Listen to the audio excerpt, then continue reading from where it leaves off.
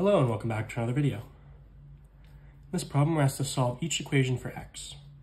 So we have these two equations here, and we're going to use the fact that we have a relationship between exponentials and logarithms, where if we had e to the x equals y, this means that log base e of y equals x.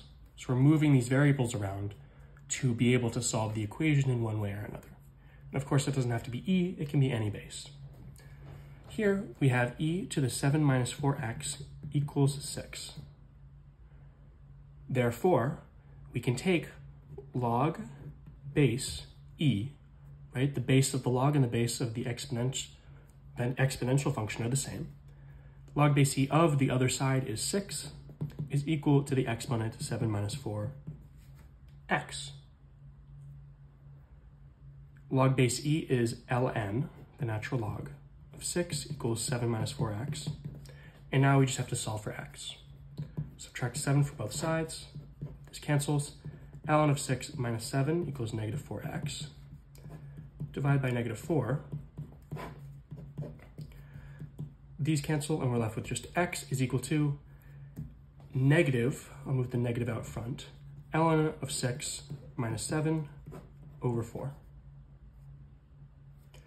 In b, we have the natural log of 3x minus 10 is equal to 2. The natural log is log base e of 3x minus 10 is equal to 2.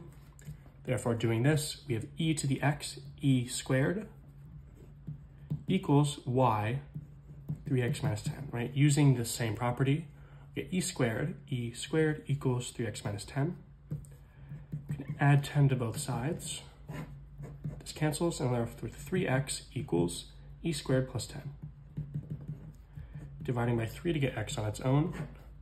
This cancels, and we're left with x is equal to e squared plus 10 over 3. So the solution to A is negative ln of 6 minus 7 over 4. And the solution for b is e squared plus 10 over 3.